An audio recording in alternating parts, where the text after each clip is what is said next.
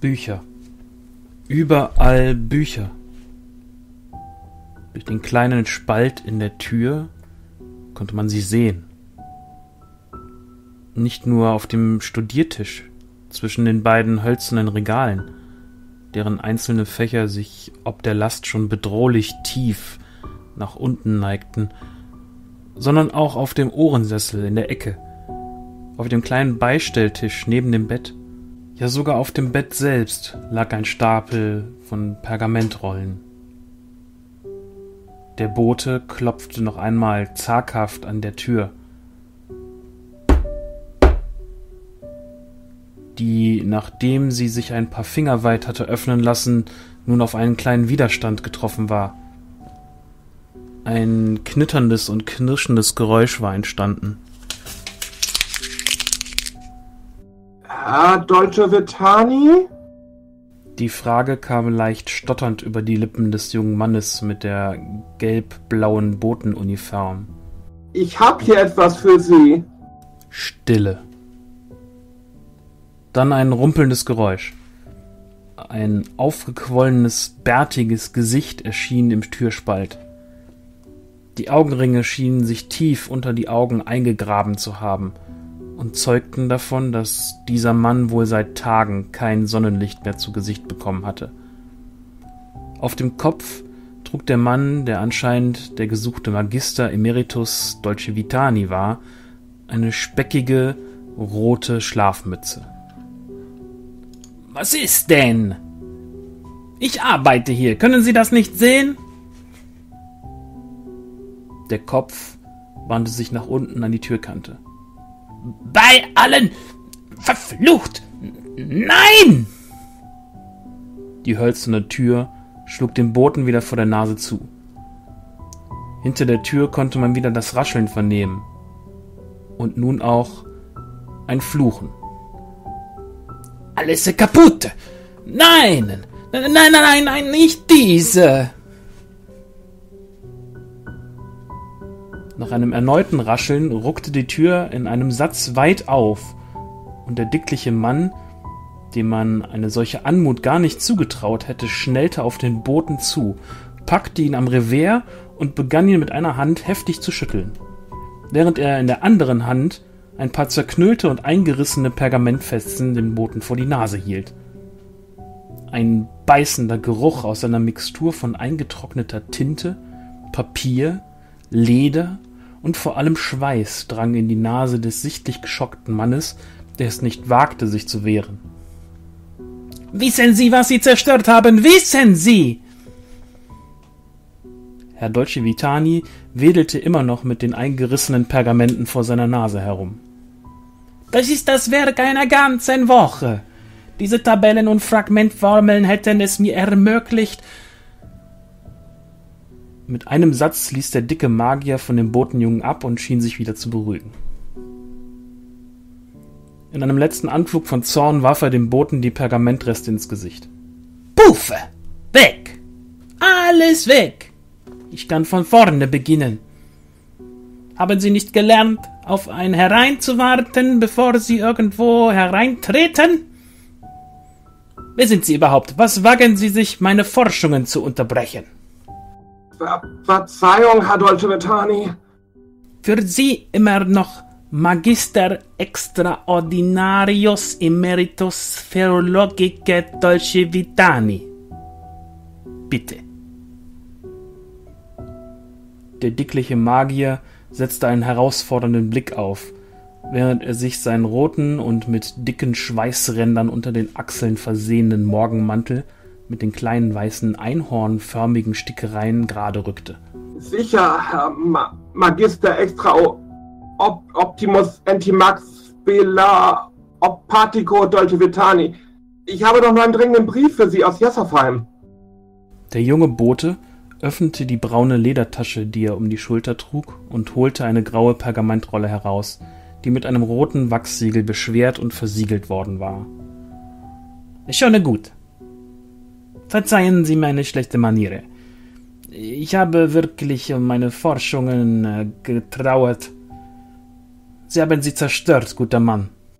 Er seufzte noch einmal laut und streckte dann dem Boten die Hand auffordernd entgegen. Sie, Sie müssen hier unterschreiben. Der Bote förderte ein weiteres Pergament aus seiner Tasche und reichte sie dem dicken Magier herüber. Dieser betrachtete das Schriftstück und begann laut vorzulesen. Wichtiges Sendschreiben aus Jassafheim an Magister Emeritus Philologica zu Kuslik Cesare Dolcevitani, Absender Zarella Dolcevitani und Talion R. von Silberbach Pandlaril. Der dicke Magier blickte kurz zum Boten herüber und dann leuchtete ein Lächeln auf seinem Gesicht. Er drehte sich herum und stolzierte wie ein Storch durch den Salat an den vielen auf dem Boden verstreuten Papyri und Büchern vorbei zum Schreibpult. Er nahm einen Kohlestift und quittierte das Formular des Boten. Ich danke dir für deine Mühen. Hastig schwirrten die Augen des fülligen Mannes im Zimmer umher, ehe er erneut starkstend zum Bett hinüberging, das Kissen anhob und einen blau-goldenen Ringelsocken hervorzog. Klimpernd schüttete er einige Kupfermünzen aus dem Socken heraus und reichte sie dem Boten. Für deine Mühen, mein Sohn. Der Bote wog die Münzen einen Augenblick in der Hand und überreichte dem Magier dann das andere Schriftstück. Ich, ich wünsche Ihnen noch einen angenehmen Tag. Aves mit Ihnen und den Segen der Zwölfer, Herr. Cesare nickte nur stumm und wartete, bis der Bote die Treppe heruntergelaufen war, ehe er vorsichtig die Schlafzimmertür schloss, ein paar Bücher von dem alten Ohrensessel herunterräumte und sich auf selbigem niederließ. Mit einem langen Seufzer brach er das Siegel, das das Wappen der von Silberbach Pandlarils zeigte, und begann zu lesen.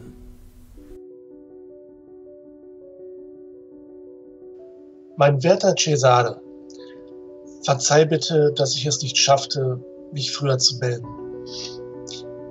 Zu sehr war ich von den Eindrücken eingenommen, die sich mir boten. Vielleicht warst du ja selbst schon mal im prächtigen Arivor, dem Sitz der Senne des Alten Reiches. Die Verehrung der Leuen wird in dieser Stadt der Gestalt betrieben, wie ich es sonst nur in Babuin erleben durfte. Wie du weißt, habe ich viele Städte bereist in den letzten Wochen. Ich war bei den Zyklopäern und kämpfte dort in der Arena von Rethis, bis es mich in die heilige Stadt Arivor verschlug. Ich bekam zwar keine Audienz bei seiner Hoheit im Schwert der Schwerter Wiburen von Hengisfort und auch nicht beim Meister des Bundes und der Senne, Napolemo Jaturese. Aber dennoch konnte ich viel mit den dortigen Geweihten parlieren und ihren Rat einholen. Ich fürchte aber, ich habe den guten Brin etwas überfordert. Ich hätte aus ihm beinahe einen Rodensteiner gemacht. Er hat wochenlang statt dem Schwert nur einen Federkiel gesehen. Bren sagt mir auch immer, dass du ihm ja gesagt hast, die Feder ist mächtiger als das Schwert. Ich glaube, er beginnt langsam zu verstehen, was du damit gemeint hast. Ist dir aufgefallen, wie schnell er gewachsen ist? Er ist schon fast ein Mann. Als wir bei Mutter Rondra auf Hylailos trainieren durften, wusste er gar nicht, wo er nicht, nicht hingucken sollte. Das war das erste Mal, dass ich ihn derartig verwirrt sah. Ich kann ihm aber nicht viel den rechten Umgang mit zyklopäischen Kriegerinnen beibringen. Sie unterscheiden sich in ihrer Offenheit schon sehr von den gängigen garetischen Damen aus Weiden, wenn du verstehst, was ich meine. Ich habe dann das Gespräch mit ihm geführt, vor dem ich seit äh, einiger Zeit fürchte. Ich habe ja schon mächtige Krieger zum Kampf herausgefordert, aber dieses Gespräch war eine Herausforderung der ganz anderen Art. Raya, hilf, dass ich die richtigen Worte gefunden habe.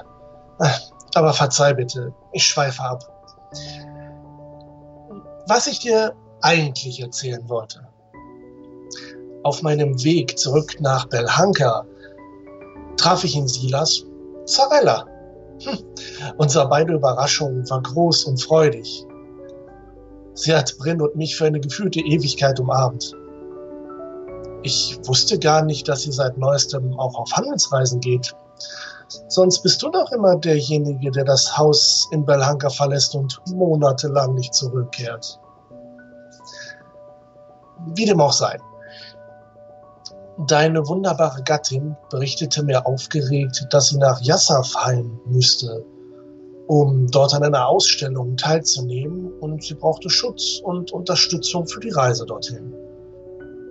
Auf dem kurzen Weg von Belhanka nach Silas hat sie fast die Hälfte des mitgenommenen Geldes an Wegzoll abgeben müssen. Auf dem Markt traf ich sie beim Vorhaben, Söldnervolk anzuheuern, das ihren Weg über Winsalt nach Jassafheim etwas sicherer gestalten sollte. Natürlich habe ich es unterbunden, dass sie gemeines Söldlingsvolk anmiete, wenn doch Brin und ich zugegen sind. Wie zu erwarten, haben die Halunken nicht sehr angenehm darauf reagiert. Schließlich haben Brin und ich ihnen ein lukratives Geschäft verdorben. Ein besonders großes und schwieriges Exemplar seiner Zunft hat deine Frau dann als fette, geldgierige Metze verspottet und vorher ausgespuckt. Das war der Zeitpunkt, zu dem Brin das erste Mal in seinem Leben außerhalb eines Trainingskampfes sein Kurzschwert gezogen hat. Hm, du hättest sehen sollen, wie er sich dem fünf Köpfe größeren Söldner starrsinnig gegenübergestellt hat, um das Ansehen deiner Frau zu verteidigen. Ich war so stolz auf ihn in dem Augenblick. Ein Augenblick lang wirkte es so, als ob die Zeit stillsteht. Brenn hielt den Blick des finsteren Söldners stand, der inzwischen auch seine mit Scharten übersäten Säbel gezogen hatte. Der Finsterling wendete schließlich seinen Blick von Brenn ab. Brenns Reaktion werde ich ihm nie vergessen.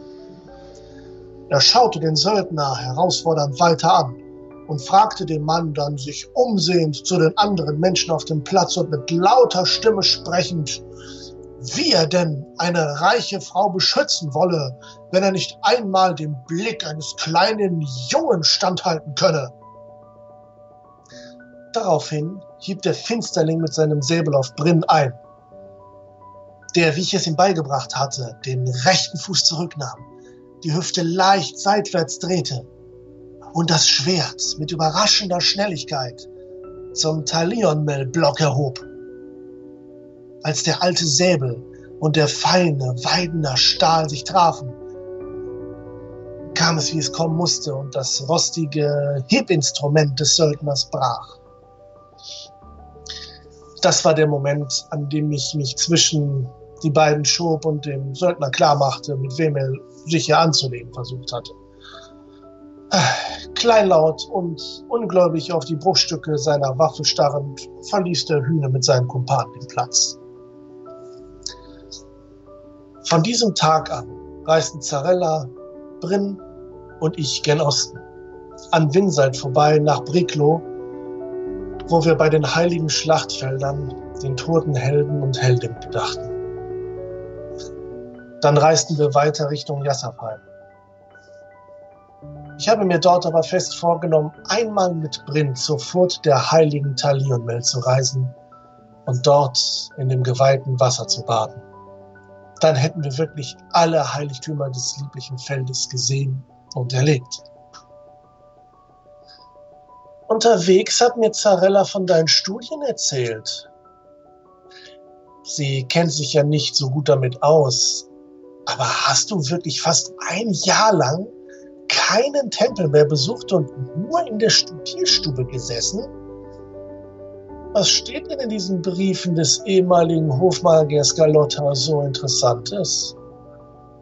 Immerhin ist er ein gesuchter Verbrecher, das ist dir bewusst, oder? Zarella wusste davon nichts. Was hast du angestellt, Cesare? Dieser Galotta hat schließlich den Ogerzug gegen das Reich geführt. Ich mache mir Sorgen. Ich weiß, du gibst nichts um die Reichsangelegenheiten im Mittelreich, ja. Und hast dem Adel schon immer misstraut. Aber ein Reichsverräter kann doch nicht so Lehrreiches verfasst haben. Muss er die Oger erst auf das blau-goldene Reich schicken oder gegen das Lilienbanner, damit du die Bösartigkeit dieses Mannes erkennst?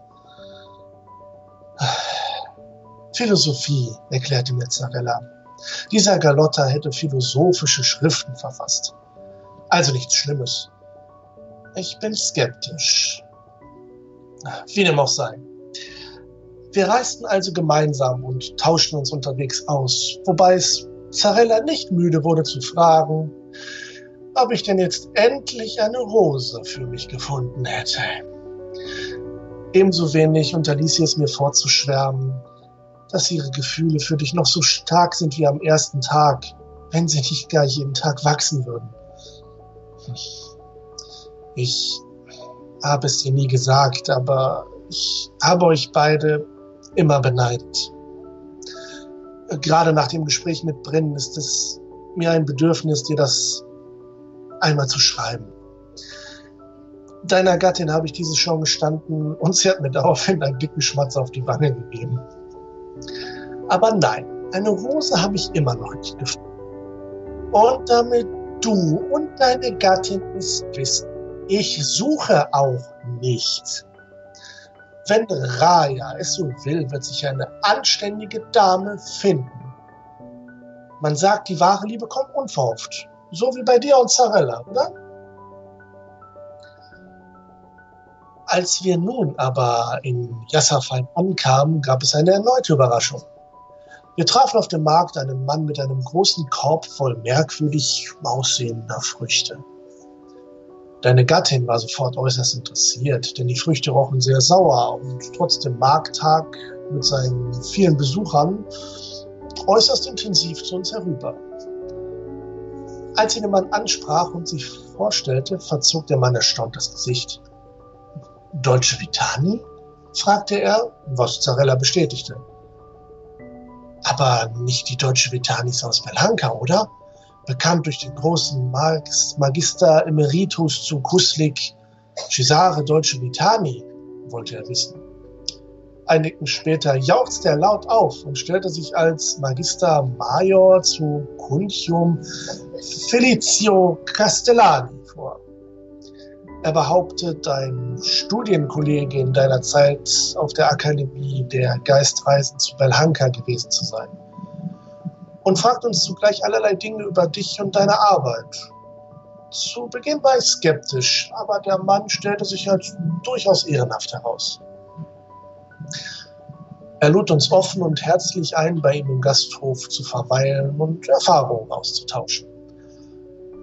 Als er von sich und Kuntium erzählte, merkte man, wie Zarella Gefallen an seinen Beschreibungen fand.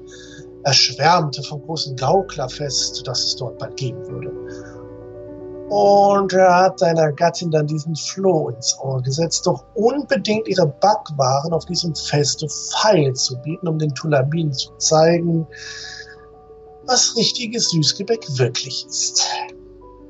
Zarella war ganz aufgeregt und sagte sofort zu.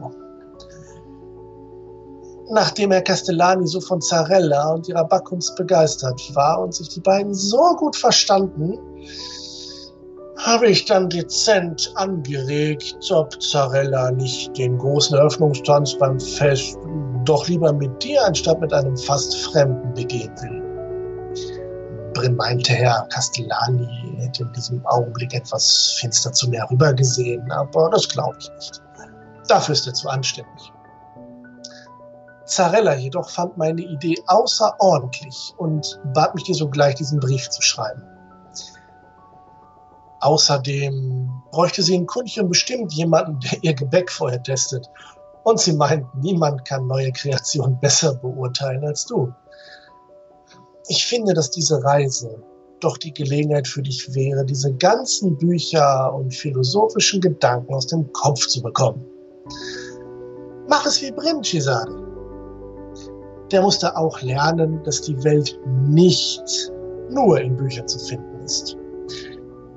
Daraufhin erwähnte der Herr Castellani, dass er gern mit dir über alte Zeiten reden möchte und einige aufschlussreiche Thesen zur Spherologie und Portal mit dir durchdiskutieren möchte. Du siehst also, wir alle vermissen dich und brauchen dich hier. Nun aber auf, Cesare. Wir warten auf dein Eintreffen. Wir verweilen bei Herrn Castellani, bis du eintriffst. Und dann reisen wir gemeinsam nach Cunchum. Klingt das nicht gut? Mit den besten Wünschen. Talion und Zarella. Äh, PS. Zarella bat mich, dies zusätzlich zu notieren. Mein lieber Mann, ich vermisse dich jeden Tag und mache mir immer Sorgen, dass du auch genug zu essen bekommst. Als ich dich verlassen habe, hast du unser Schlafzimmer fast in eine Studierstube verwandelt. Du bist nur aus dem Zimmer gekommen, wenn ich dich gebeten habe. Jetzt, wo ich auf Reisen bin, denke ich oft an dich. Ich möchte aber auch, dass du stets daran denkst, dass ein Dolce Vitani immer gepflegt und repräsentabel auszusehen hat. Also wasch dich, kämm dich und zieh dir was ordentliches an. Und geh mal vor die Tür. Ich hoffe, wir sehen uns bald hier in Jassafheim-Wieber. Grüß mir bitte auch unseren lieben Sohn Cosimo, wenn er wieder zu Hause ist und du ihn siehst. Meine Gedanken sind immer mit dir. Mögen die Zwölfe deine Reise zu mir kürzen, auf dass wir uns bald wiedersehen. Eine Träne rann auf dem unrasierten Wange des Magiers herab, als er den Brief beiseite legte und noch einmal tief Luft holte. Es schauderte ihn ein wenig, wie wenig er in den letzten Tagen an seine Frau gedacht hatte. So sehr hatte er sich in die Schriften und Ausführungen dieses Mannes verloren, der behauptete, aus Myranor zu stammen, jenem sagenumwobenen Land jenseits des großen Effertwalds. Die Schriften beschrieben eine ganz neue Sicht auf die Cesare bekannten Sphären und wie man diese nutzen konnte. Er wünschte, er hätte diesen Mann persönlich gekannt, um mit ihm diese Theorien zu erläutern. Vielleicht waren sie der Schlüssel dafür, wie man auf magischem Wege einen Weg nach Alvaran finden könnte, als Sterblicher, ohne zu sterben. Kurz schüttelte Cesare den Kopf, so heftig, dass ihm die alte Schlafmütze fast vom Kopf gefallen wäre. Dann stand er auf und ging hinüber zum Fenster. Mit einem Ruck zog er die Vorhänge beiseite und blinzelte ins Sonnenlicht. Er war in der Tat lange nicht nach draußen gegangen. Er wendete sich um und schritt aus dem Zimmer auf den Flur. Und noch am selben Tage verließ der alte Magier hastig und ohne große Vorbereitungen sein Haus in Belhanka, hinterließ seinem einzigen Sohn Cosimo eine Nachricht, wo er und seine Mutter zu finden wären, wies die Diener an, sich gut um das Haus zu kümmern in seiner Abwesenheit und verließ auf dem schnellsten Wege die Stadt der Liebe Richtung Nordosten, Richtung Jassafheim.